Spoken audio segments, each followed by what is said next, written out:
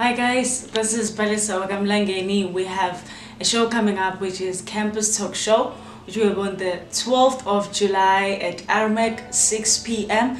We have tickets that will be sold at 10 rands and 25 rands at the door.